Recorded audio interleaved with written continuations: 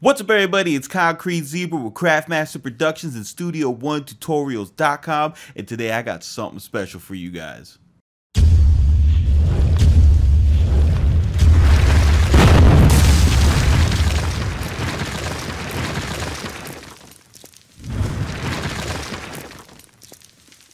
What's up, everybody? It's Concrete Zebra with Craftmaster Productions and Studio One Tutorials.com. Today, I got something that sounds a little like this.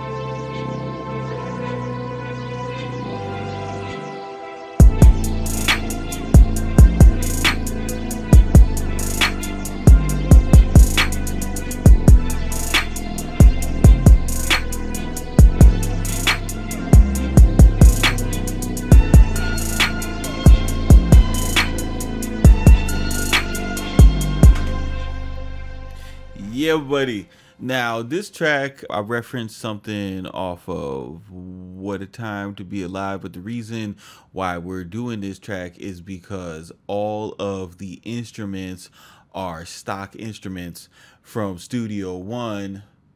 And on top of that, the instruments right here that are this kind of dark teal color, these are all custom patches that I am going to be giving away for free to subscribers to Studio1Tutorials.com. So all you guys that have already subscribed, I'm going to send you an email with these presets. And for all you new subscribers, um, this is a bonus. If you sign up to studio1tutorials.com we'll be giving you away i believe it's 25 presets little backstory i linked up with a sound designer. He used to work for ik media. He did the miroslav original library. He did Sonik Synth 2 he's done some Kontakt stuff. Really gifted guy.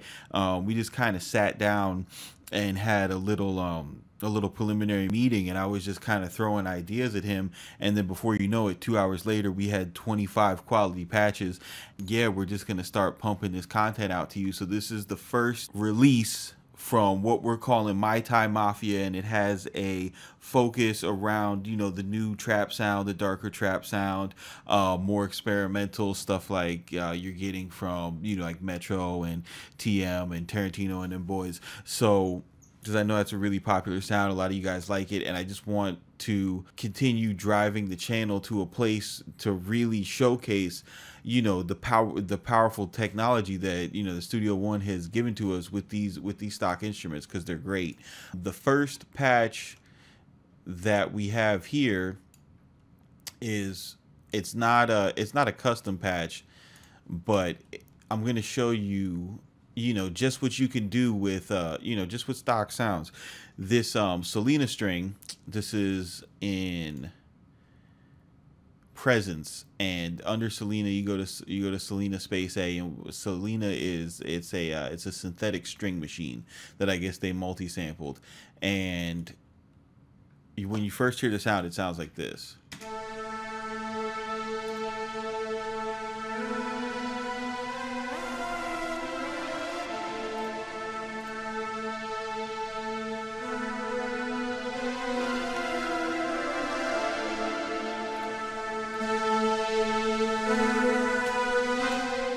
So you know, if you hear that sound, you're not gonna be like, "Ooh, wow, that's that fire." I gotta, I gotta make sure I put that into my song. But when you go ahead and you turn, you know, you turn your mono mode and you turn your glide on, and you go ahead and you draw out these little eighth note slides, so that um, you know, where each note goes into the next note, you wind up with these really cool glides.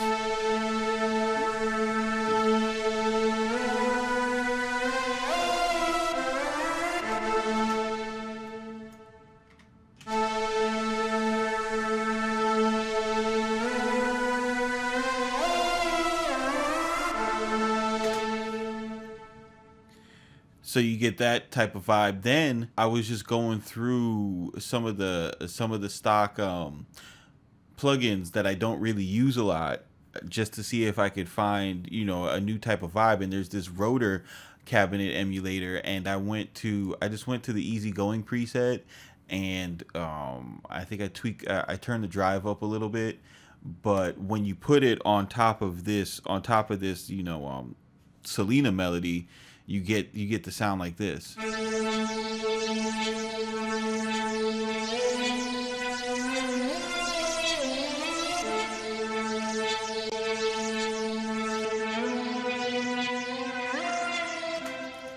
then I just went to the EQ and rolled off some of the highs and that's you know that's a really that's a really nice lead sound so just to just to point out you know with presence and things of that nature if you can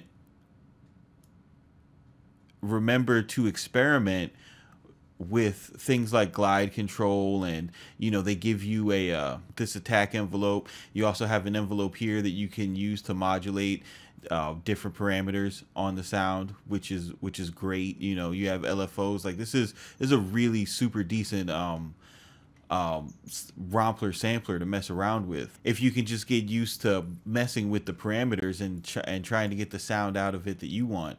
Now the the next sound that we kind of have this beat revolving around is this detuned bass, and this is bass six. This is going to be in in the uh, bass session one folder, and I don't think I did any tweaking to it. Actually, I did. This sound is going to come with a bandpass filter. I changed it to a low pass filter, and this is what it wound up sounding like when you added it.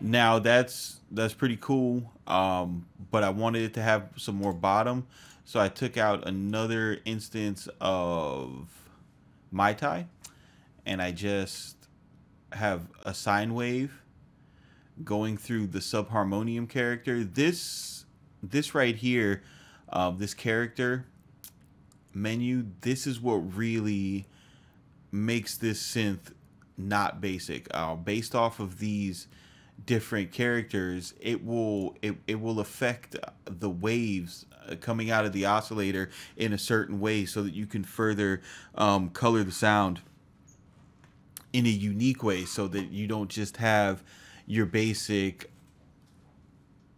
sine, saw, triangle, pulse sounds. You could take it, you could take it the extra step. And this subharmonium, then it's all in the name, you know, it adds, it, it adds, um, you know, content to sub sounds. So when I went ahead and added that in, we got a much fuller effect.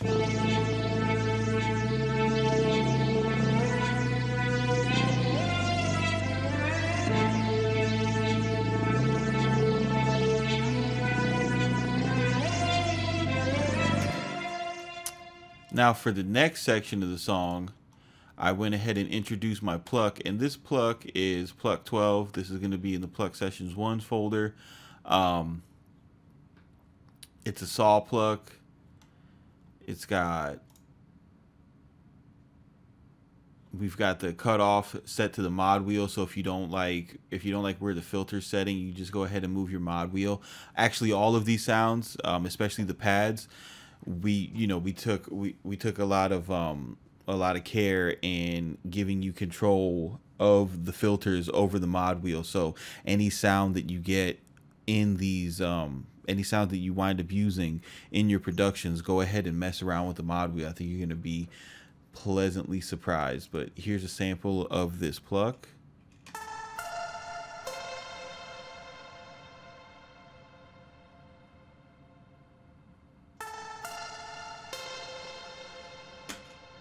Now I've got this playing with this piano inside of Presence, and this is another situation where, you know, before it was just a regular basic piano, and what I did was I slowed the attack up a little bit, and that gave me more of like a piano pad sound. So check this out.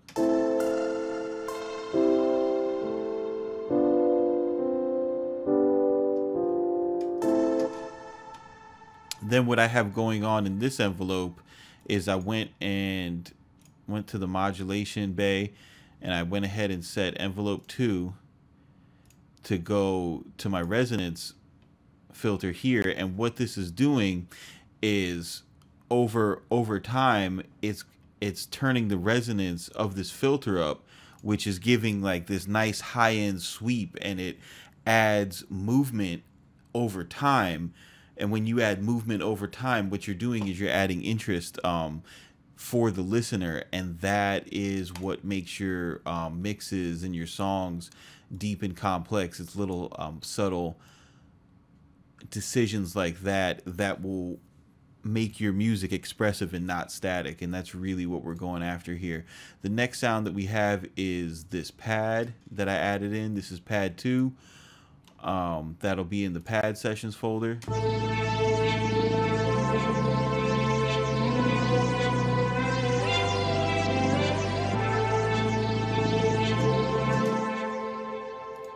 And all I did with this pad is I just took the notes that were playing in the bass line and slid it up a few octaves. That way, when you go from this section to the next, you have, you know, you have some high end content that doesn't make it seem like you're walking into an empty room after hearing that piano.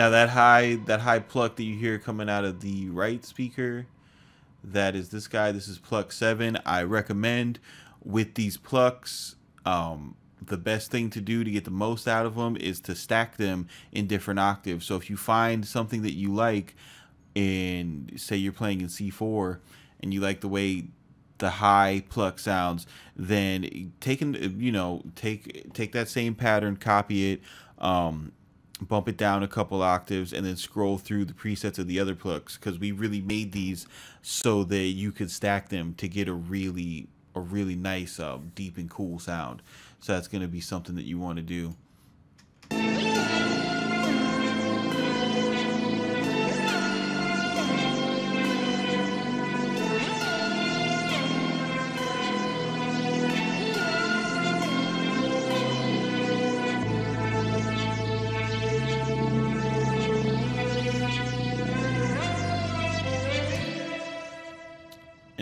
drums, this is what you got.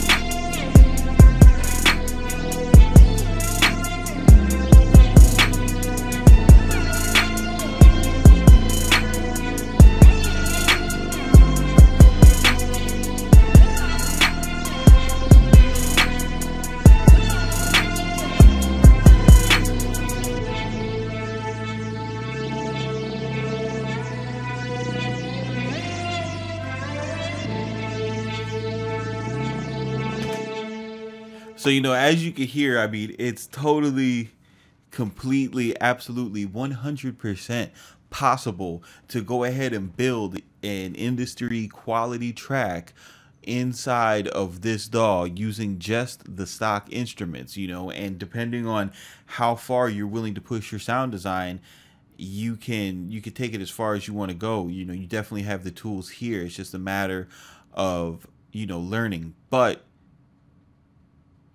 if you haven't gotten to that point yet, we got you. Um, Studio One Tutorials and Craftmaster Productions is going to be dropping a lot of sounds. Um, the next pack that we're going to get ready to do is going to be revolving around the new Drake album. We're gonna be, you know, we're gonna be getting sounds inspired from that when when views from the six drops. Um, but I would like you guys to communicate with me and let me know, you know, what else what else you would like to see because you know this guy that that I'm working with, you know, Twitch, he is he he could do, he could do anything for you guys, you know. So go ahead and hit me up on Twitter at CraftmasterC or you know send me an email through the website. Let me know what you guys want to see and we're going to go ahead and get it to you. I'm also going to be doing presence presets as well because it's just going through those sounds. There's so many great bread and butter sounds but they're not kind of geared towards urban music but you can you can make them that and i'm going to go ahead and cook some of those up for you as well. So yeah go ahead and sign up to craftmaster so yeah, go ahead and sign up to studio1tutorials.com. Upon signing up, I'm I'm gonna I'm gonna shoot you over these these presets.